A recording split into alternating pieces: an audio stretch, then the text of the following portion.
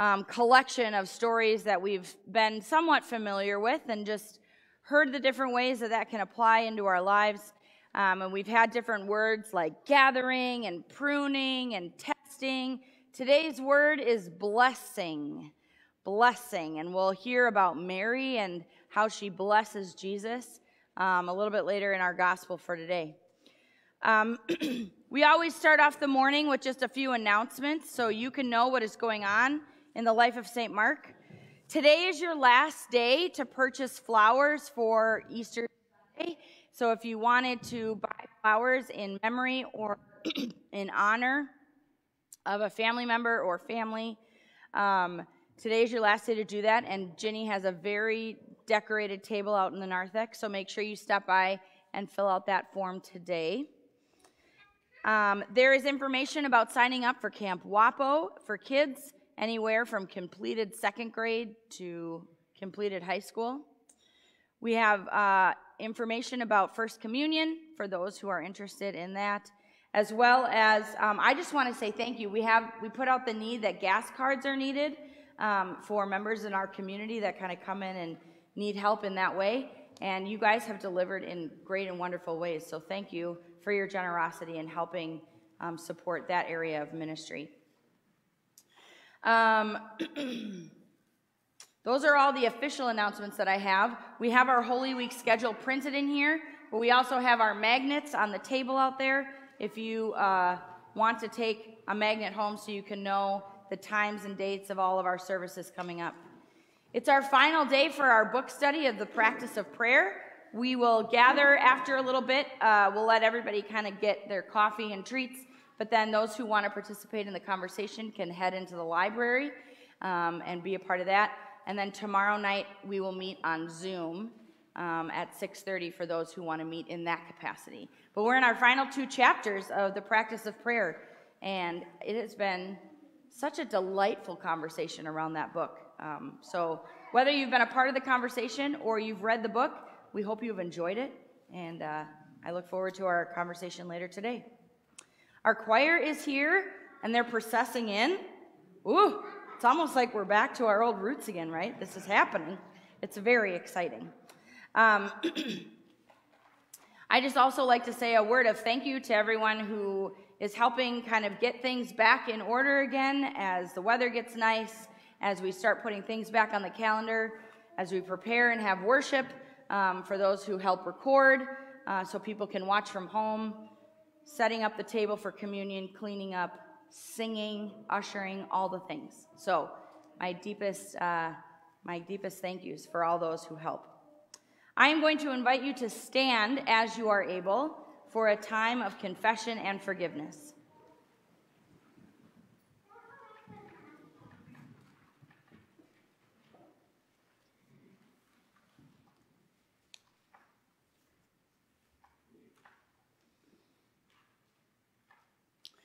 In the name of God, who makes a way in the wilderness, walks with us, and guides us in our pilgrimage.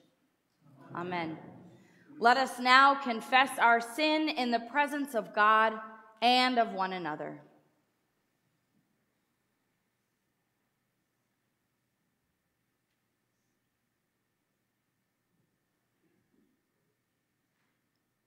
Holy God, we confess that we have wandered far from you.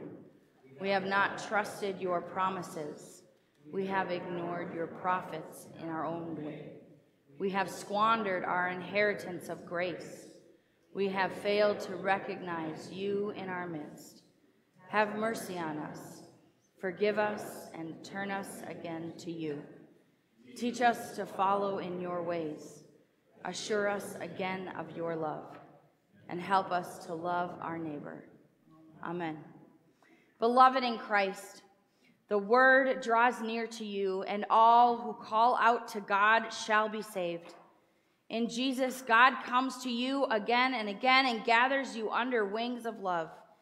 In Jesus' name, your sins are forgiven. God journeys with you and teaches you how to live in love. Amen. Let us sing our opening hymn, In the Cross of Christ I Glory. You can find the words and music in your hymnal underneath your chairs. hymn number 324.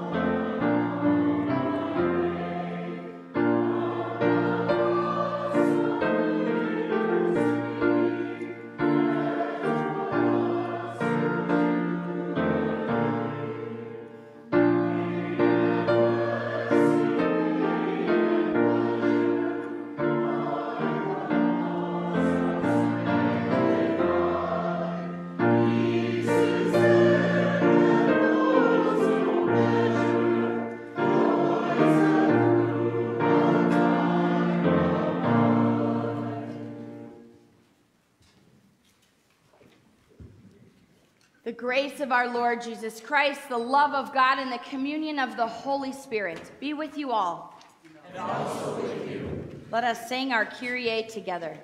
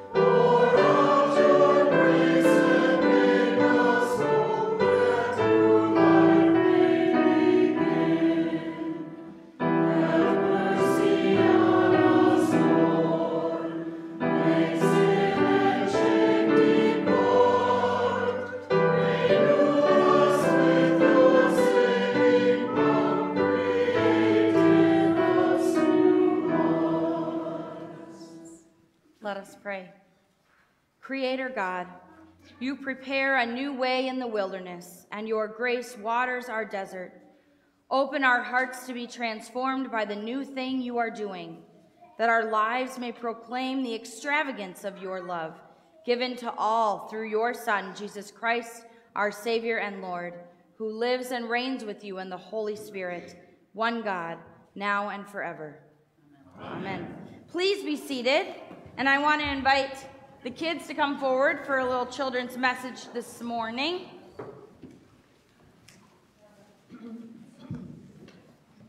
Come sit down here.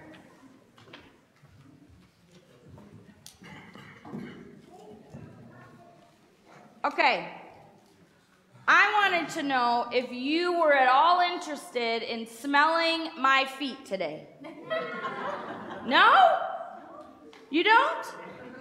Okay, how about you spell the feet that I have in my hands? These feet. They're printed. Okay. No, you still won't. Okay, let me tell you a little bit why we're doing this, and then maybe you will. There's a story today about how these siblings, Mary, Martha, and Lazarus, are throwing a party. And Jesus comes to their party. And Martha is a busy one, and she's just getting everything ready and wanting to make sure everyone's fed and doing the right thing. And then there's Mary, who comes and sits down to like hang out and listen to Jesus, because Jesus usually has really good things to say, right? But then Mary takes very expensive perfume and wants to wash and bless Jesus' feet with this very expensive perfume? Right? It seems a little strange. Even one of um, Jesus' buddies is like, ah, what are you doing? That can be used for many other things besides feet. That's really weird. And Jesus says, no, no, no, Judas. You know what? It's okay. It's okay. Let's let her do it. And Mary is so grateful to have some time with Jesus and to know that his death is going to be coming soon. So she wants to bless him and show how much she loves and appreciates him. So she washes his feet with this very good smelling perfume. Now, what is a smell that you really like to smell? Do you know? I'll give you an example for me. I love the smell of fresh cut grass. Like right after someone's mowed the lawn, it smells so good. What about you? Like, do you like the smell of chocolate chip cookies in your house? Knowing that you probably get to eat some a little later, hopefully? Okay, what about the smell of fresh laundry when you know something's really You you have cookies at your house? Okay, good. I'm gonna come over to your house, Bash, and we can have cookies. Okay? All right, what else smells good? Do you guys ever have those smelling markers that smell really good based on you have the sense markers at school? Okay. What else? Does anything else smell good to you? What else smells good? Spring or flowers. Flowers usually smell really nice. So, what I did is I put some really good smelling stuff on here. Do you guys want to smell what they are? They smell good. Do you like the smell of orange? This one sm- wait. This might be key lime pie. smell that one. Smell I it smells good. I promise. I wouldn't put anything sticky on there. Do you smell key lime? Does it smell kind of like? Okay. This one. This one smells like orange. Orange and honey. Oh. You really don't want to smell? You want to smell that one? Mmm, orange and honey. Mmm. Now this one I think is strawberry and coconut. Oh yeah, strawberry and coconut. You don't want to smell it? No? It smells nice, right? Wouldn't it be nice if all feet smelled like this? That'd be so nice. You want to smell? You want smell? She's curious now. Mm-hmm. smells nice. It does smell nice. I know.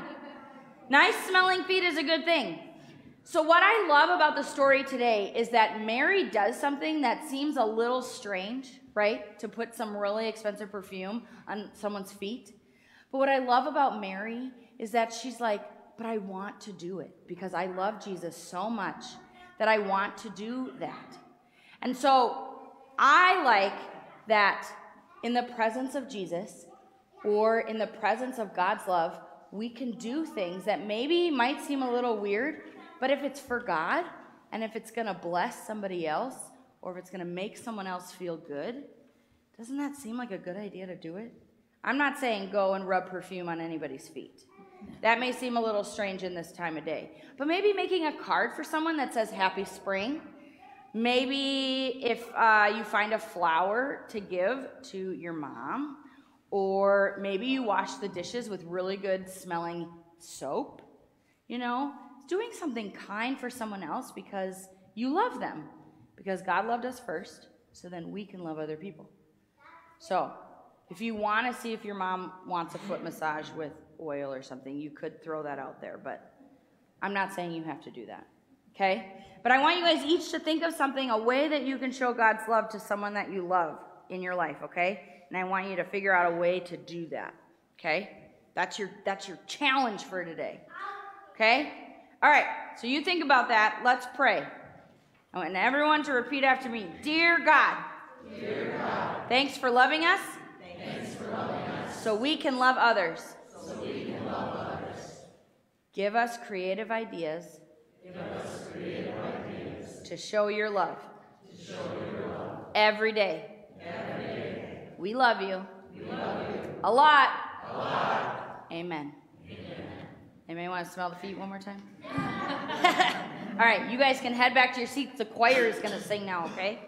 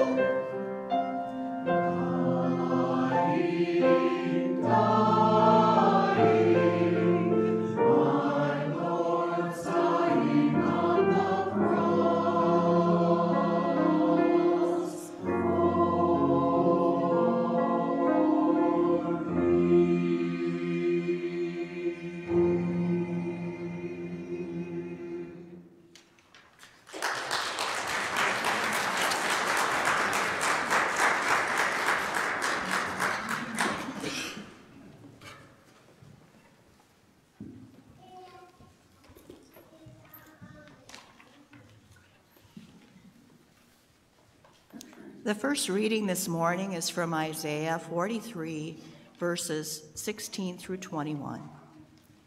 Thus says the Lord, who makes a way in the sea, a path in the mighty waters, who brings out chariot and horse, army and warrior. They lie down, they cannot rise, they are extinguished, quenched like a wick. Do not remember the former things or consider the things of old. I am about to do new, a new thing. Now it springs forth. Do you not perceive it? I will make a way in the wilderness and rivers in the desert.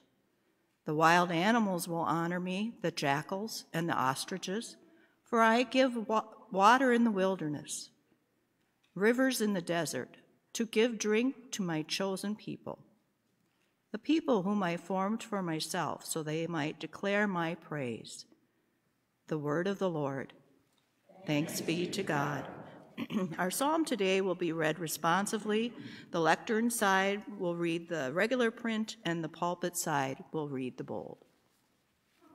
When the Lord restored the fortunes of Zion, then were we like those who dream. Then was our mouth filled with laughter, and our tongue with shouts of joy. Then they said among the nations, the Lord has done great things for them. The Lord has done great things for us, and we are glad indeed. Restore our fortunes, O Lord, like the water courses of the Negeb. Those who sowed with tears will reap with songs of joy. Those who go out weeping, carrying the seed, will come again with joy, shouldering their sheaves. Please stand as we sing our gospel acclamation.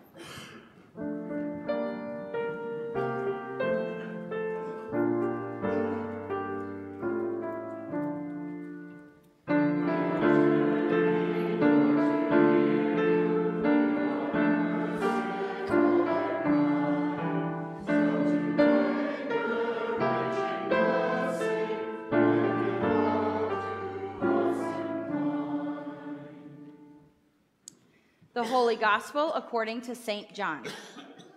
Glory to you, O Lord. Six days before the Passover, Jesus came to Bethany, the home of Lazarus, whom he had raised from the dead. There they gave a dinner for him. Martha served, and Lazarus was one of them, one of those at the table with him. Mary took a pound of costly perfume made of pure nard, anointing Jesus' feet, and wiped them with her hair. The house was filled with the fragrance of perfume. But Judas Iscariot, one of his disciples, the one who was about to betray him, said, Why was this perfume not sold for 300 denarii at the money given to the poor? He said this not because he cared about the poor, but because he was a thief.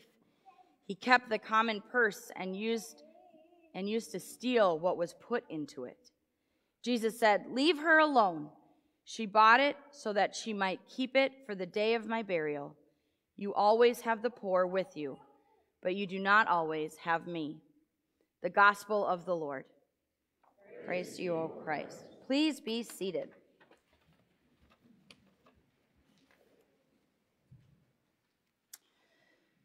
Perhaps you have heard this origin story, the story of Sir Isaac Newton and how he came up with the three laws of motion he credited with discovering, or at least questioning, identifying, and exploring. Contrary to popular belief, it wasn't the apple falling on his head, but it did have to do with an apple.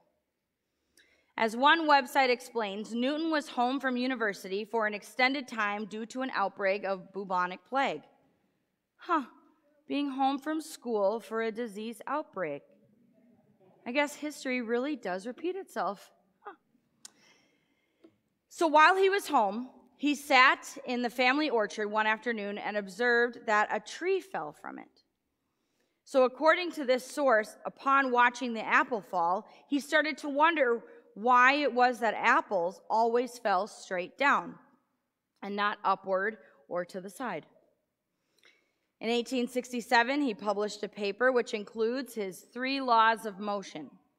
The first law is the law of inertia. Simply put, an object at rest will stay at rest. The second law, a body in motion tends to stay in motion in the same direction when a force is applied directly to it. And the third law, every action has an equal and opposite reaction. Oh, good job, you guys.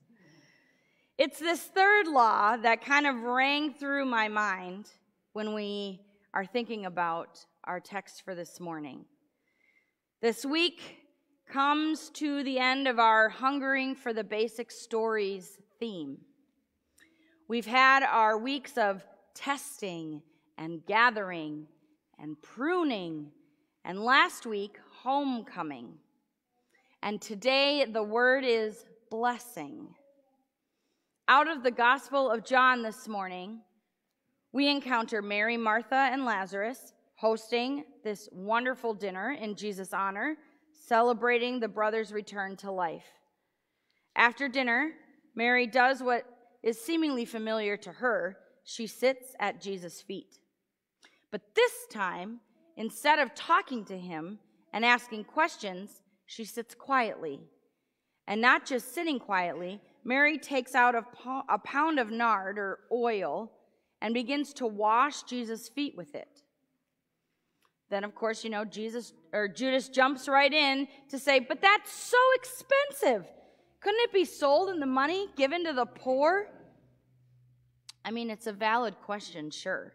The oil was worth approximately 300 denarii, which for a laborer, that's about almost a year of wages. But what does Jesus do? Does he stop and say, Wow, Judas, you sure do have a good point? Nope. In fact, Jesus does opposite. He rebukes Judas for his questioning of Mary's use of the oil, which she purchased for the intention of using it for Jesus' burial. Jesus does not take issue with the temporary nature of the gift. In fact, he seems to be okay with the reason for its use. He declares the use of the gift as appropriate in that moment, particularly in the light of his impending death. So, then what's the big deal then about washing feet with this expensive perfume? Well, as Reverend David Lose, former professor extraordinaire of mine at Luther Seminary, reflected in his commentary, he writes, It was unexpected that someone would use such a costly amount of perfume to clean someone's feet. It was unexpected, at least to those in attendance, that Jesus would dampen the mood of the feast and gift by talking about his upcoming death. And it was ex- unexpected that he would engage in an argument over dinner with one of his disciples. But what was perhaps the most unexpected is that Jesus is anointed by Mary. It may be a wonder why Lose believes that this was indeed the most unexpected thing that took place, because he continues to say it is usually men who anoint men. Samuel anointing Saul to be Israel's first king, male popes anointing male emperors throughout Western history. But here, it's Mary who lets down her hair and anoints, blesses Jesus. All of which reminds me that God is often up to unexpected things with, for, and throughout unexpected people. Mary blesses Jesus. Now, because of her conviction and belief and trust in Jesus, Mary blessed him in a way that she knew how because that's how she lived out her faith. And she's not the only one in the Bible who can be seen as someone who reacts and responds in unexpected ways. You could take any of your picks of the favorites Moses as a leader because he had a speech impediment, or Abraham and Sarah to start a family, or David, a tiny little shepherd boy, to become a king. God regularly loves to do the unexpected with, for, and through unexpected people. God's belief in these people to do great things seems to go back to Newton's second law. An object in motion will tend to stay in motion when a force is acted upon it in the same direction. Translated to our faith, when God maybe nudges us in a direction that we are already going, how can we not react in a way that to some may seem unexpected? And according to Judas, unnecessary? Author Debie Thomas puts it plainly when she writes that Mary's reaction to Jesus' presence in her house after listening to his teachings is about just that. And she does it immediately. Mary responds to the call of love in that moment, in the now.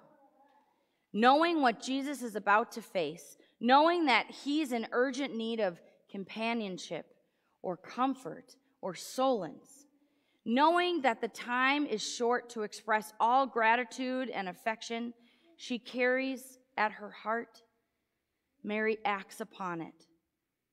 Given the choice between an abstracted need, the poor out there, and the concrete need that presents itself at her own doorstep, around her own dinner table, Mary chooses the here and now.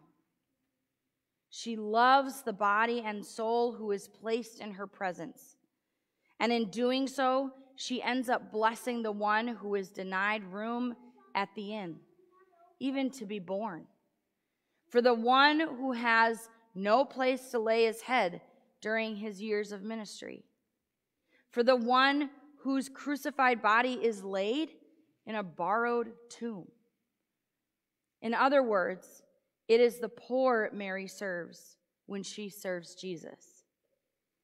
Just as it is always Jesus we serve when we love without reservation what God places in front of us in the here and now. It is important sometimes to think and to plan and to discern when it comes to our faith.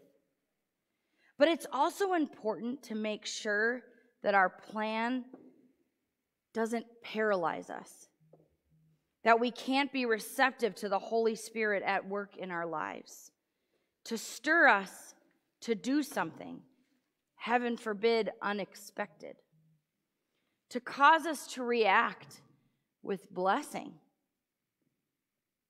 Sometimes it is important to do something right now because that moment might come and then go too quickly.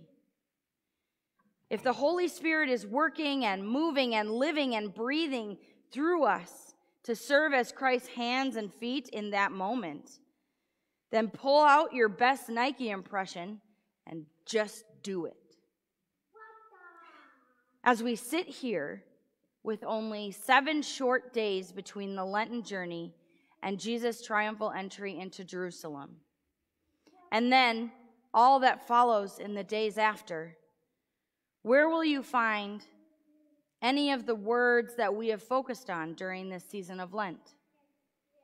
Testing, gathering, pruning, homecoming, and now blessing.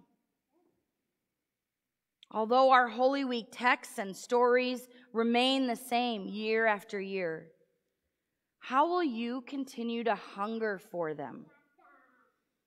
Of course, you can do the things that seem like the good, you know, Sunday school answers. You can pray and read the Bible and participate in educational opportunities. But then what? What does responding to these basic stories that we've been hearing look like in your life outside of Sunday mornings? Good old Frederick Buechner has one of the best responses, I think, to this question. One of my all-time favorite authors, Buechner seems to be seems to put things in a way that is just. And it makes sense about what to do and how to react to God's call on your life. And Buechner says this Vocation comes from the Latin vocare, to call, and means the work a person is called to by God. There are all different kinds of voices calling you to all different kinds of work. And the problem is to find out which is the voice of God rather than of society, say, or superego or self interest. By and large, a good rule for finding out is this the kind of work God usually calls you to is the kind of work, A, that you need to do, and B, that the world needs to have done. If you really get a kick out of your work, you've presumably met requirement A. But if your work is writing maybe, I don't know, cigarette ads, the chances are you've missed the requirement. On the other hand, if your work is being a doctor in a leper colony and you have probably met requirement B, but if most of the time you're bored or depressed by it, the chances are you've not only bypassed A, but probably aren't helping your patients much either. Neither the hair shirt nor the soft berth will do. The place God calls you is to the place where your deep gladness and the world's deep hunger meet. It is my prayer. If you haven't found that intersection of your deep gladness and the world's deep hunger, that you take this time to seek it out. If you have already found that intersection, it is my prayer that it continues to be the sweet spot in ways to be a blessing to others. Whatever the case, wherever you find yourself, may the stories of Jesus continue to feed our hunger and connect us with the God that knows us, every hair on our head, the God that walks with us, the God that blesses us each and every day. May you be fed by these basic stories. May you be nourished by the stories that are to come that we hear year after year of Holy Week. And may you find that beautiful, sweet spot of an intersection where your deep compassion meets the world's deepest need. May it be so for you and for me. Thanks be to God. Amen.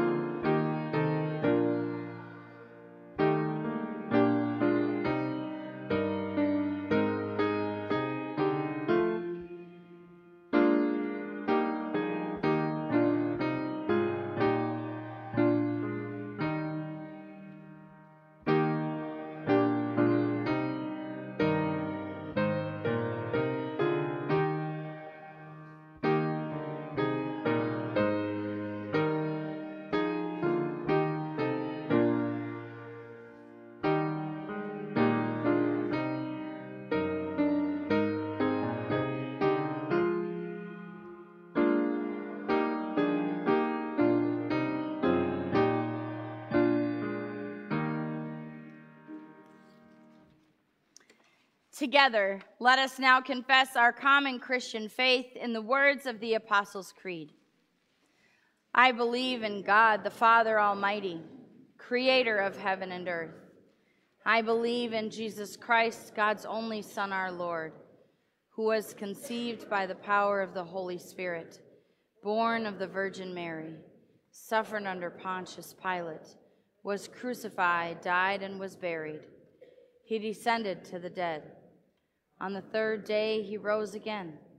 He ascended into heaven and is seated at the right hand of the Father. He will come again to judge the living and the dead. I believe in the Holy Spirit, the Holy Catholic Church, the communion of saints, the forgiveness of sins, the resurrection of the body, and the life everlasting. Amen.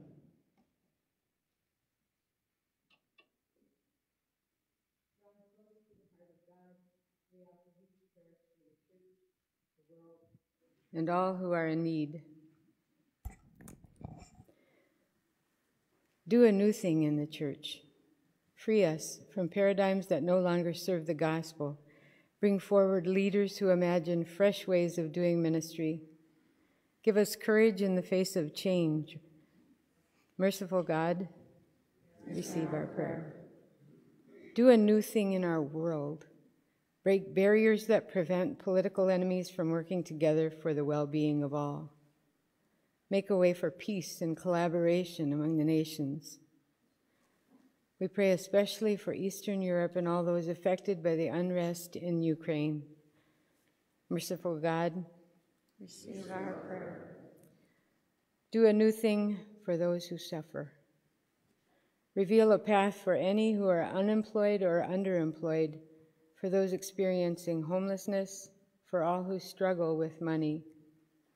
Comfort those who grieve and restore those who are sick, especially Donnie and Connie Lundholm as they remember their daughter Mandy, Cindy, Jean, Michael, Richard, Robin, Ruth, Yvonne, Susan, Sherry, Sue, Wendy, and all that we name in our hearts. Merciful God, receive our prayer. Do a new thing within us. Direct us into encounters that broaden our understanding of the human experience. Amplify voices that are ignored or devalued. Deliver us especially from the scourge of racism. Merciful God, receive our prayer. We pray also for the health and well being of our brothers and sisters in Tanzania. Merciful God, receive our prayer. Accept the prayers we bring, O God, on behalf of a world in need, for the sake of Jesus Christ. Amen. The peace of Christ be with you always.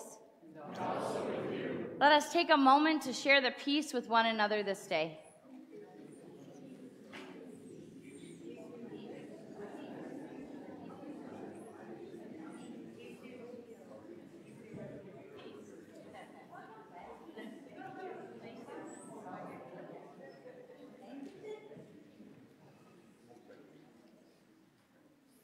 Invite the congregation to be seated, and I call our ushers forward as we now will gather our offering in for today.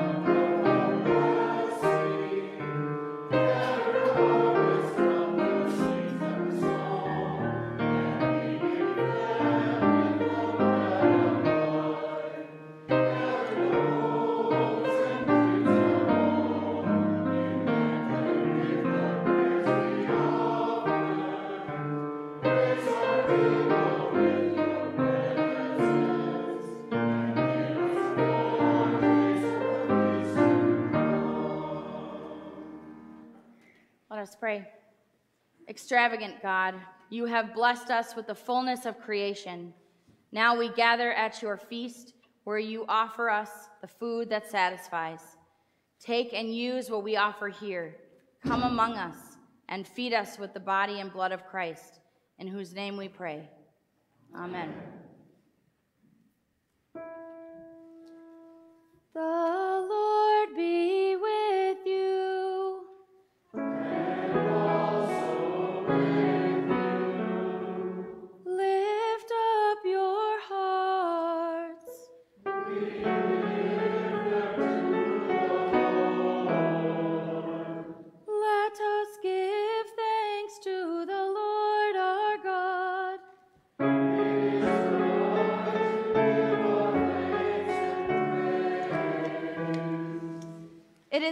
our duty and our joy, that we should at all times and in all places give thanks and praise to you, Almighty and merciful God, through our Savior Jesus Christ.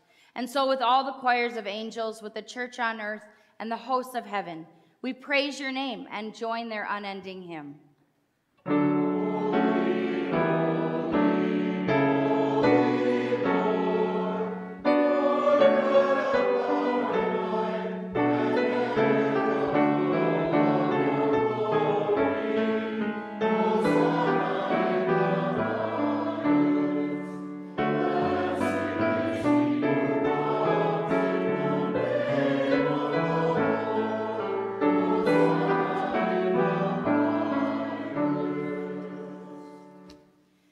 In the night in which he was betrayed, our Lord Jesus took bread. He broke it, gave thanks, and gave it to his disciples, saying, Take and eat.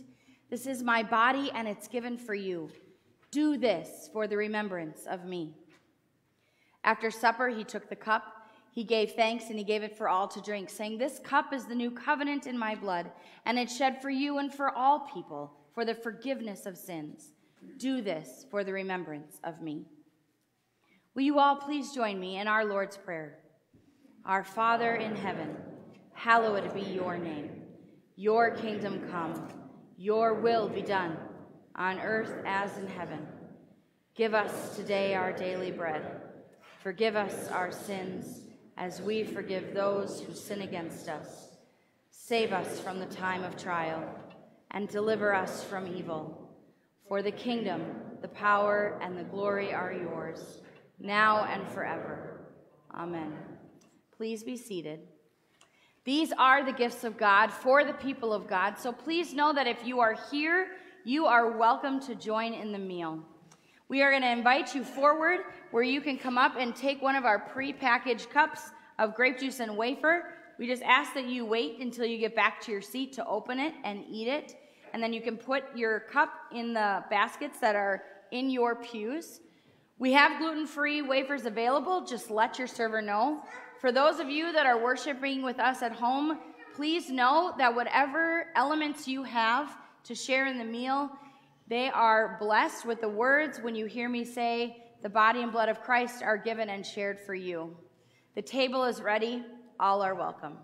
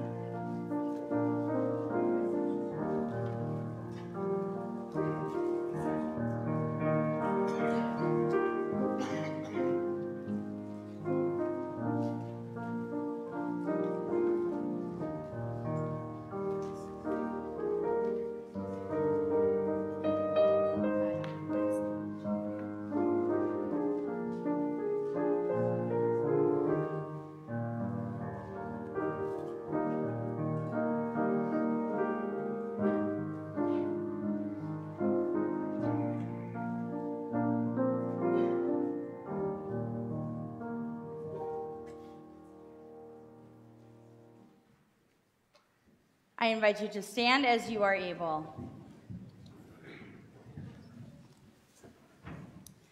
And now may the body and blood of our Lord and Savior Jesus Christ strengthen you and keep you in God's grace always. Amen. Blessed Jesus, in this rich meal of grace, you have fed us with your body, the bread of life.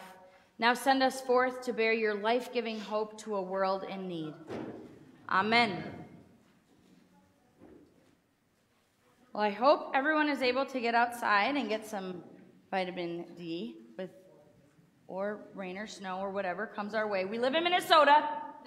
We're ready for anything.